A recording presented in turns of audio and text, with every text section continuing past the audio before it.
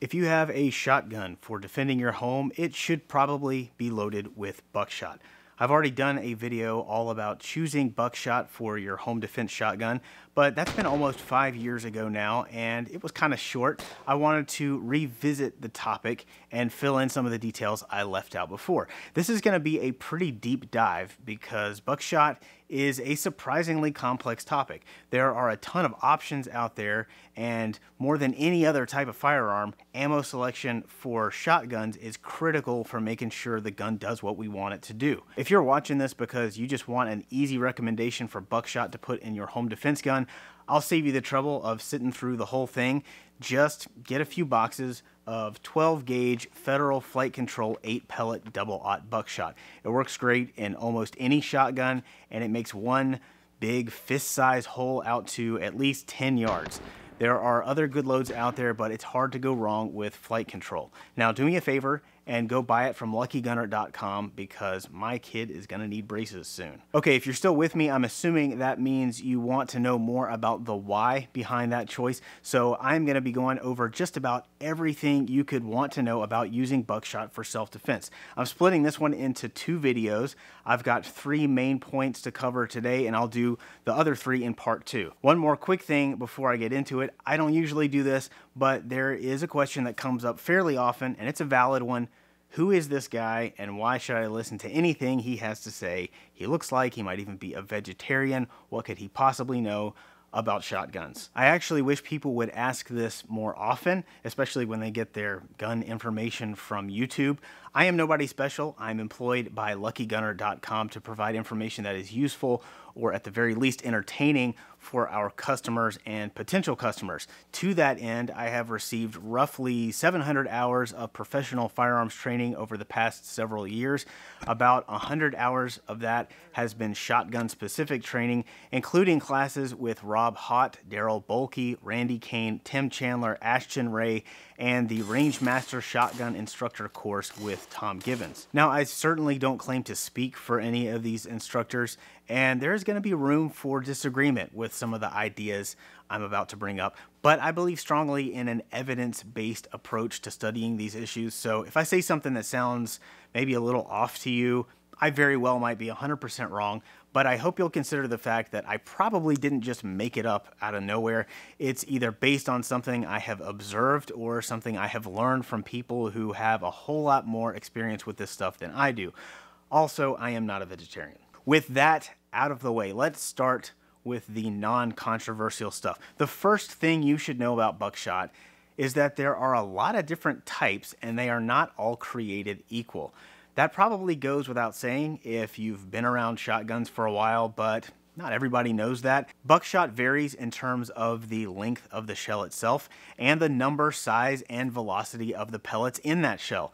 Ammo makers also have a variety of different methods of trying to control the spread of the pattern, and that's something we will come back to in part two. First, let's break down those other attributes. By the way, just assume that I am talking about 12 gauge for most of this. There's nothing wrong with 20 gauge in theory, but it has just a fraction of the market support that 12 gauge does. There are not many purpose-made self-defense loads for 20 gauge, so our focus here is on 12. Okay, shell length. There are four common sizes, two and three quarter inch, three inch, three and a half inch, and recently we've been seeing more of the one and three quarter inch mini shells. The two and three quarter inch shells are standard. There's normally not any good reason to use anything other than a two and three quarter inch shell for self-defense against humans. They are plenty sufficient for that job. The mini shells don't feed in most shotguns. You can only use the three and three and a half inch shells if your barrel explicitly says it is chambered for them. Those longer shells will give you more velocity or more pellets. That might be useful for larger animals or for extending your range. But for the average person, that's not really necessary for personal protection in and around the home. Shell length is determined by measuring the shell before it is crimped. A loaded shell out of the box is a little shorter, so if you pick up a two and three quarter inch shell after it's fired, it will measure right at two and three quarter inches. When it's unfired, it will actually be closer to two and a quarter inches if it's got a star crimp like this one. If it's roll crimped like this one, it'll be more like two and a half inches. That means for some shotguns, you won't be able to fit as many shells in the mag tube if they are roll crimped. You might only fit four shells in a five shot tube. Most shells designed for self defense are star crimped to maximize your capacity. Shot sizes. The smallest buckshot is number 4 buck, not to be confused with number 4 shot, which is birdshot. The largest I've heard of is 4-aught buckshot, but triple-aught is the largest common size. The most popular size by far is double-aught buck, especially for self-defense. It's been the gold standard for law enforcement for many decades. Number 1 and number 4 buck are also fairly common.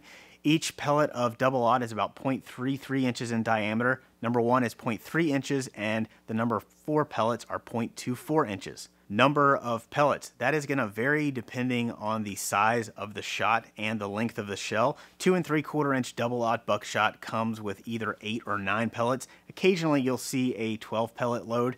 Number one buck usually has 12 to 16 pellets. Number four will have around 21 to 28 pellets. Velocity, like I mentioned, some of the three and three and a half inch shells will push the pellets faster, but even among the two and three quarter inch shells, the velocity might vary quite a bit.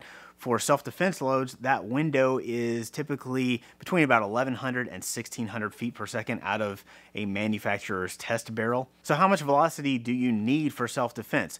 Well, it depends. The loads around 11 or 1200 feet per second are often labeled as low recoil, and they are a bit easier to control. Low recoil double aught buck has been very popular with law enforcement since the 80s or 90s, and it seems to be just as effective for close range encounters as the higher velocity stuff.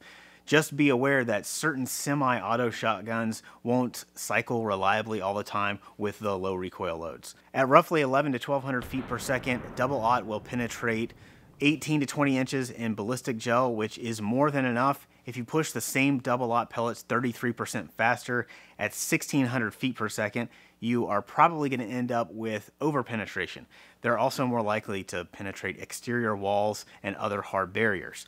Number one buckshot also does really well in that 11 to 1200 foot per second range. That gets around 15 to 18 inches in gelatin, which means it's not as likely to pass completely through a human target honestly, number one buckshot is really more ideal in a lot of ways than double aught from a ballistic standpoint, and it has just as good of a success rate with law enforcement. Unfortunately, number one is not as popular, so market demand is very low, making it hard to find good loads with that shot size. Number four buck is where you might want some extra velocity. Each number four pellet has about half the mass of a number one pellet, so if it's moving at the same velocity as the number one, it's probably going to underpenetrate. So most of the number four loads are a little faster at like 13, 1400 feet per second. And even then, they are just on the very edge of adequate penetration, at least anecdotally speaking.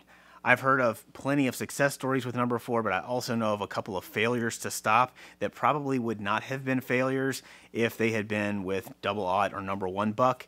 At close range, inside a home with nothing between the gun and the threat, it's probably going to be fine.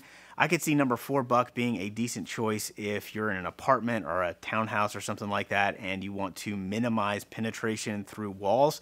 It's still going to go through at least a couple of interior walls, just like anything else that will reliably stop an attacker. It just might not go through all of the walls in your apartment building. So don't miss. And that brings us to the number two thing you should know about buckshot. You have to pattern your buckshot. Patterning just means that you fire a couple of rounds at various distances to see what that load does in your gun. The goal is to find out how much the pellets spread at any given distance. So think about the area that you might have to defend from people or animals or whatever. Find the longest possible shot you might have to take. Think in terms of potential lanes of fire, not just the size of a single room. So inside your house, that might be from the back of a bedroom, down the hall, through the kitchen to the back door. So pace off that distance and then add a couple of yards just to be on the safe side and use that as your maximum distance. Start patterning your buckshot at about three to five yards and then repeat the process at three to five yard increments until you reach that maximum distance. That way, you know exactly when that shot starts to spread and how big the pattern is going to be. The key is predictability. You have to know how your buckshot behaves. And every barrel is a little different, so you have to pattern it in your specific gun. So what kind of pattern do we actually want?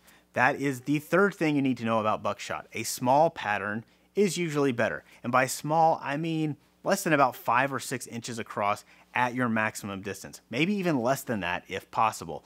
For one thing, the terminal ballistics are better when the pellets all impact the same general area at once, but the main advantage of a small pattern is shot accountability. We are accountable morally, ethically, legally for every projectile that leaves that barrel. The wider the spread, the greater the chance that even a good center hit is going to result in at least one or two pellets that miss the target completely and hit something we did not intend to hit.